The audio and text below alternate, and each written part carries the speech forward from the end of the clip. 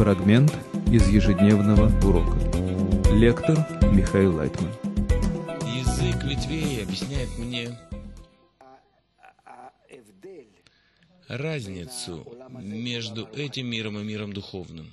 И тогда я изучаю действия Творца, потому что главное это не, сам, не сама ступень, а между ступенями. Это помогает мне понять то, как я могу изменить себя и каждый раз поднимать себя все выше и выше. Это то, что чему нужно учиться от учителя.